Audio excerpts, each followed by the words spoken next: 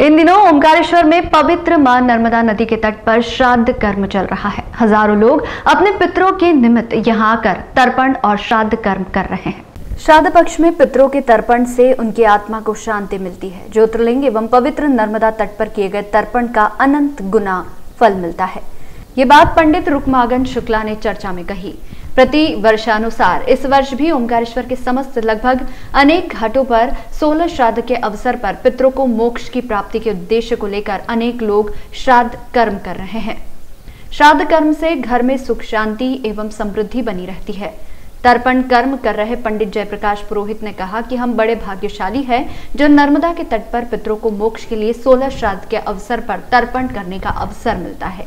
धार्मिक स्थानों पर तर्पण करने से नाना परिवार, मामा परिवार एवं अन्य पूर्वजों के नाम से भी पुण्यदायिनी माँ नर्मदा में तर्पण करने से उन्हें भी आत्मा को शांति मिल रही है।